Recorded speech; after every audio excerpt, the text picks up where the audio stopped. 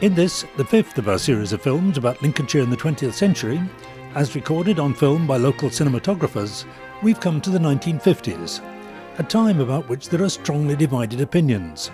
For some, it was a time of prosperity, with money to spend and exciting new things to buy with it. To many, and particularly to those with vivid memories of the war and post war shortages, it was a time of peace, calm, and security.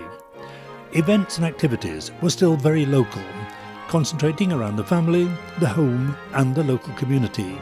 And many of the films included in this compilation, from the collection held by the Lincolnshire Film Archive, reflect those feelings.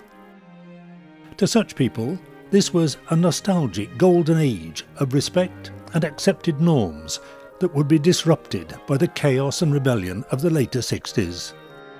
To others, and particularly the young, it was a dull and humdrum time of old-fashioned conformity, well illustrated by the famous Tony Hancock programme about having nothing to do on a Sunday, which was ended by the freedoms and excitement of those same 60s.